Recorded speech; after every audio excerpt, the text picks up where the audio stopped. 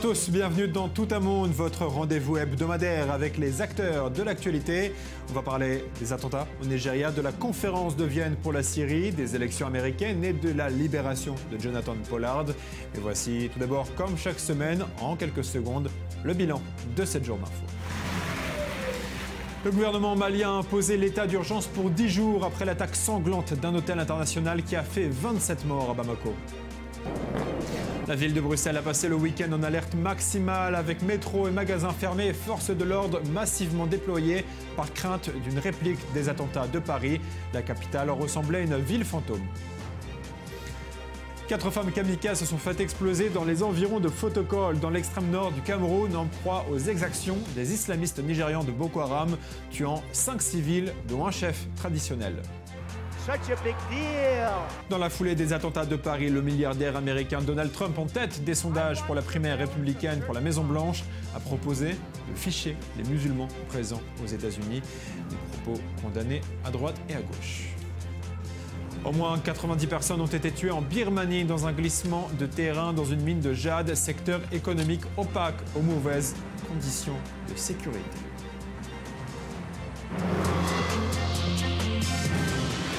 Daniel Chak, bonjour. Bonjour. Ancien ambassadeur d'Israël en France. On sera dans un instant en ligne avec le docteur Ephraim Herrera pour parler de la Syrie. Mais avant cela, l'actualité, c'est aussi euh, la Belgique, qui est devenue visiblement le nid du terrorisme en Europe. En France, on a muselé le terrorisme, on a muselé les islamistes, en tout cas au nom de la laïcité.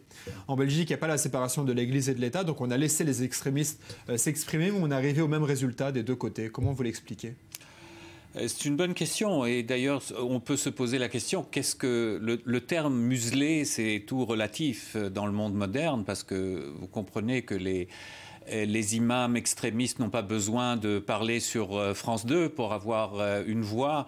Il suffit qu'ils aient une voix dans le petit quartier dans lequel ils militent et trouver les jeunes pour les, euh, pour les enrôler dans, dans, le, dans le cercle et dans les réseaux euh, djihadistes.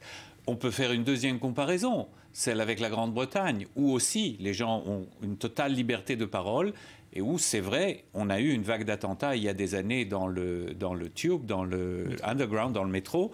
Mais euh, depuis, euh, c'est-à-dire, je ne sais pas si on peut euh, arriver à une véritable conclusion, mais il s'agit sans doute de faire plus que simplement museler ou laisser la parole. Il faut faire un travail de fond dans ces quartiers. Merci beaucoup euh, pour ces explications sur la Belgique. Donc, je vous le disais, on va rejoindre tout de suite par téléphone le docteur Ephraim Herrera. Bonjour, merci d'être avec nous. Vous êtes euh, docteur en histoire des religions, vous êtes auteur du, livre Djihad, de la théorie aux actes, aux éditions El Canin. Vous êtes actuellement euh, dans le sud de la France hein, pour participer à un salon du livre. On va parler de la conférence de Vienne où se sont réunis États-Unis, Européens, Russes, Saoudiens, Iraniens pour tenter de trouver une solution à la crise syrienne. Est-ce que aujourd'hui il y a une issue à cette crise dans le sens où on a pensé pendant des années que dans ce genre de pays c'était soit l'islamisme radical, soit une dictature laïque Est-ce qu'aujourd'hui il y a une troisième voie possible? Il faut comprendre qu'en Syrie, euh, vous aviez un, État qui était dirigé par des Alaouites qui représentent à peine 12% de la population face à une majorité sunnite, qui a donc accueilli euh, euh, de manière positive l'État islamique. L'État islamique se bat sur le terrain alors que les forces occidentales ne sont prêtes qu'à faire des attaques aériennes. Mm. Or, plus de 4000 attaques aériennes des Américains n'ont pas pu arrêter l'État islamique, qui est aujourd'hui un État de 230 000 km, à savoir 10 fois Israël, la taille de la Grande-Bretagne, dominant une population d'environ 8 millions d'habitants, avec euh, un ministère de l'économie, un ministère de la santé, Oui. tous les enfants sont vaccinés, un ministère de l'éducation qui enseigne le djihad belliqueux, et euh, c'est pour ça qu'aussi il menace euh, la France qui attaque euh, en Syrie avec des attaques aériennes. Et de manière donc très claire, la solution euh, prônée par les grandes puissances avec l'Arabie saoudite euh, ne va pas donner de solution au problème syrien. Est-ce qu'il y a un soutien à Daesh au sein de la population syrienne? Il y a un soutien par rapport à ce qu'il y avait avant. Bien sûr, d'abord, ce sont des sunnites. sunnites. À 90% environ, ils sont pour que la charia soit la loi de l'État. Ce sont des hommes religieux. Donc, en fait, ce qu'impose Daesh, enfin, ce que vous appelez Daesh, qui s'appelle l'État islamique, euh, c'est euh, être un peu plus religieux, faire sa prière cinq fois par jour. Mais aujourd'hui, le prix du pain est euh, contrôlé. Tout, tout, tout épicier qui va vendre du pain ou de la viande à un prix plus élevé, on lui coupera la main. Donc le, le citoyen moyen est content. Ouais. Son- ses enfants sont soignés, il a, personne ne le vole, il n'a pas besoin de payer de bakchiche aux autorités syriennes. Donc il se trouve en situation qui relativement est meilleure que celle qu'il avait à l'époque d'Assad, quand Assad dominait les régions qui aujourd'hui sont sous contrôle de l'État islamique. Merci beaucoup, docteur Ephraim Herrera. Daniel Chek, la France a plié, Assad va rester non, je n'en suis pas certain. Euh, d'abord, déjà dans le discours de François Hollande devant le Parlement réuni en Congrès, il a répété de manière un peu, euh, un peu euh, silencieuse, mais il a en sous-entendu, mais il a dit quand même. À lire entre les lignes. Hein. Oui, à lire entre les lignes. Non, il a dit que Hafez el-Assad ne pouvait pas faire partie de la solution. Mais c'est ça la ligne de démarcation à Vienne. Est-ce que, est-ce que oui ou non Assad, ou du moins le régime de Assad, peut-être pas sa personne, euh, pourrait faire partie, euh, pourrait être la solution. Mais il y a de graves problèmes. On voit là-bas, déjà, pour se mettre d'accord, qui est considéré comme une organisation terroriste et qui est considéré comme une organisation militante légitime. Pour Daesh, tout le monde est d'accord. Pour Daesh, tout le monde est d'accord. Euh, même sur euh, Jabhat el-Nusra, ils sont plus ou moins d'accord. Mais après, il y a encore plein de groupuscules. Et il a fallu mettre la Jordanie comme une sorte d'arbitre qui doit dresser une liste euh, des organisations qui seraient de part et d'autre, c'est-à-dire par les Américains et les Russes considérés comme des cibles légitimes pour des frappes militaires. Dernière question, est-ce que l'issue de la guerre en Syrie est toujours incertaine? Elle est très incertaine. D'abord... En 2011, on disait à ça fichu. En 2011. non, aujourd'hui c'est incertain. Je, pense que c'est véritablement incertain et euh, j'aimerais voir la personne qui pourrait me donner les contours clairs d'une bonne, entre guillemets, bonne solution. Euh, personne ne sait qui devrait être au pouvoir.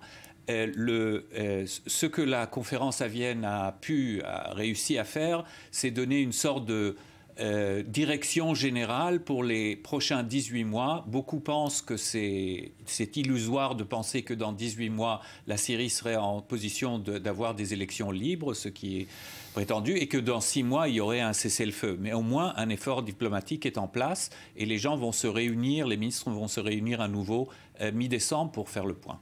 Merci beaucoup, Daniel Chek, de ces explications. Au Nigeria, deux jeunes filles kamikazes âgées d'à peine 11 et 18 ans, toutes deux portant un foulard islamique et portant des bombes, ont commis un attentat sur un marché spécialisé dans les téléphones portables. Nous sommes rejoints par Anna Euchner, chercheuse à l'Université libre de Bruxelles. Merci d'être avec nous. Bonjour. Comment est-il possible que deux enfants aient commis euh, ce terrible attentat? Des attaques comme celle à Cannes au mercredi passé nous laissent tous choqués et perplexes. Et euh, je ne pense pas qu'il y ait des réponses simples à la question de comment une telle attaque a pu arriver. Cela dit, en cherchant des réponses, il faut garder à l'esprit que ce conflit existe depuis plus de six ans aujourd'hui et qu'il est extrêmement violent.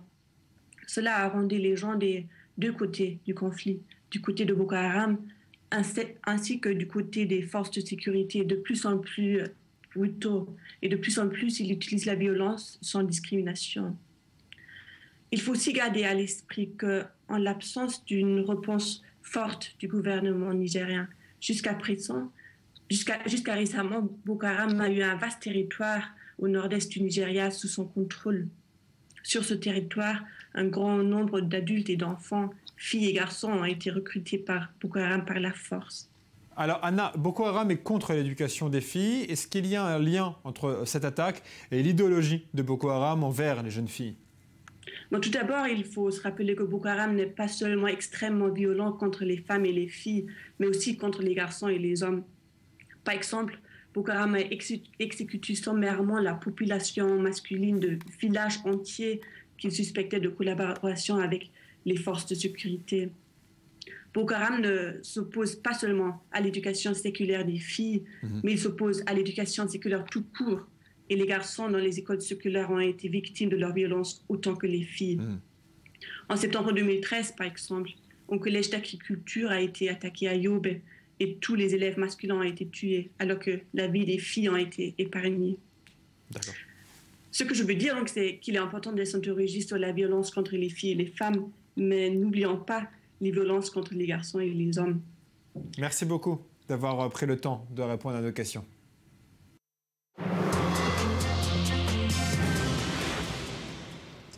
On va prendre à présent la direction des États-Unis pour faire le point sur l'actualité américaine qui a été assez chargée ces derniers jours.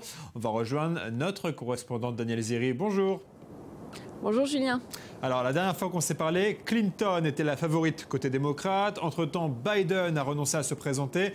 Où en est-on? On imagine que la candidature de Clinton est renforcée Absolument. Euh, le fait que Joe Biden a décidé de ne pas se présenter euh, aux élections, à la nomination démocrate pour les élections présidentielles, a en effet boosté euh, la campagne d'Hillary Clinton. Et cela pour, pour plusieurs raisons. Et la première raison, c'est bien sûr que beaucoup d'Américains, bien qu'ils avaient exprimé beaucoup de soutien à Hillary Clinton, avaient en effet dit que si Joe Biden se présenterait, eh bien, ils préféraient voter pour Joe Biden. Mhm. Donc en fait, ce qui s'est passé, c'est que en refusant de se présenter, Joe Biden a euh, transformé Hillary Clinton en premier choix pour de nombreuses personnes, pour qui elle était le deuxième choix. Donc ça a renforcé la candidature. En plus de ça, euh, l'opposant euh, en face d'Hillary Clinton, Bernie Sanders, avait baissé dans les chiffres. Donc ces deux facteurs ont fait que vraiment ça a boosté la campagne d'Hillary Clinton. Et juste après l'annonce de Joe Biden, la probabilité qu'Hillary Clinton gagne cette nomination démocrate avait été boostée à 80 et hmm. aujourd'hui, Julien, quelques semaines avant euh, les primaires, on peut, on peut le dire, euh, eh bien, vraiment, c'est Hillary Clinton qui va, euh, qui va recevoir cette nomination. Reste à savoir. Reste à savoir qui sera en face d'elle pour le côté républicain. Alors justement, côté républicain, est-ce que l'effet Trump est toujours aussi au fort ou, bien, ou bien est-ce que la mode s'est estompée? Non, alors on pensait que c'était vraiment une mode, mais c'est vrai que euh, l'effet Trump continue, comme vous dites. Euh, il faut dire que les gens ne l'avaient pas pris vraiment au sérieux ici aux États-Unis. Personne ne pensait que ça allait vraiment euh, durer. C'était plus une blague qu'autre chose, puisqu'il faut le rappeler, c'est quand même un candidat qui n'a aucune expérience politique, qui fait beaucoup de scandales avec ses propos et qui crée des polémiques. Et donc, je peux vous dire que vraiment, ça a surpris beaucoup de gens et ça commence à même inquiéter beaucoup de gens. il est premier dans les sondages des Républicains, en tête de ces sondages, et vraiment euh, sur la bonne voie pour avoir cette euh, nomination républicaine.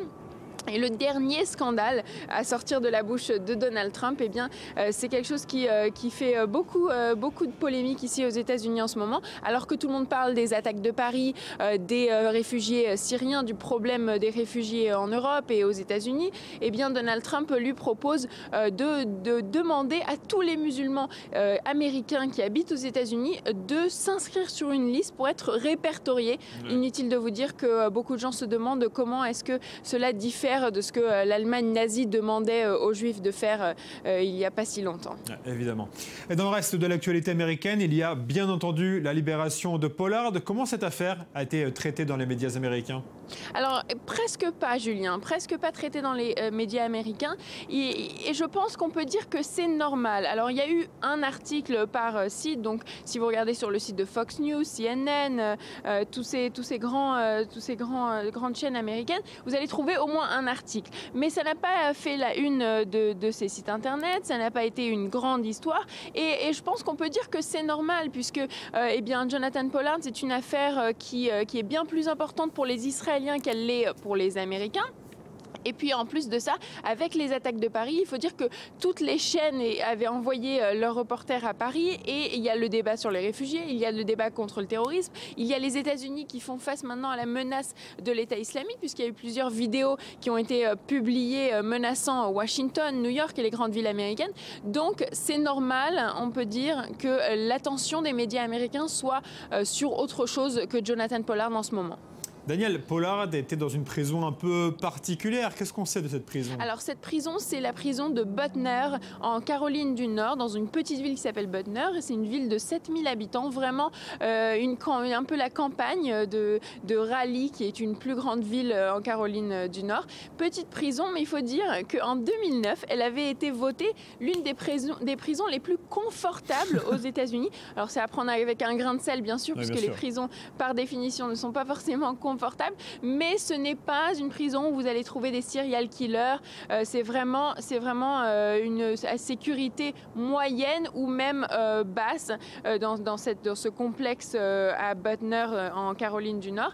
Et petite chose à savoir, il, y a, il a eu pas mal de compagnies très célèbre, on va dire, dans cette prison, puisqu'il y a eu des, célébrités qui, qui, sont passées par là, notamment le chef de la police de Chicago, qui aux États-Unis avait fait un grand scandale pour fraude, et autres personnes emprisonnées pour fraude, Bernie, Bernie Madoff, qui lui, qui lui a été emprisonné pour fraude pendant 150 ans. Donc ils ont, ils ont passé pas mal de temps dans cette prison. Bernie Madoff, lui, est resté dans la prison alors que Jonathan Pollard est sorti. Mais en tout cas, une prison qui avait fait la une des journaux pour plusieurs prisonniers très célèbres. Merci beaucoup, Daniel Zérier, depuis New York. Merci, Julien. Et c'était euh, le monde de cette semaine tel que nous l'avons vu. Rendez-vous dimanche prochain. Bonne semaine à tous.